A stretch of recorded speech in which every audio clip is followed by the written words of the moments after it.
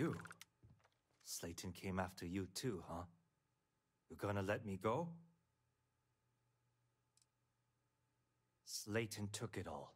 Probably in one of his secure accounts somewhere. We'll need to go into arbitration to get it back. Lawyers, backbiting conference calls. I'll handle it.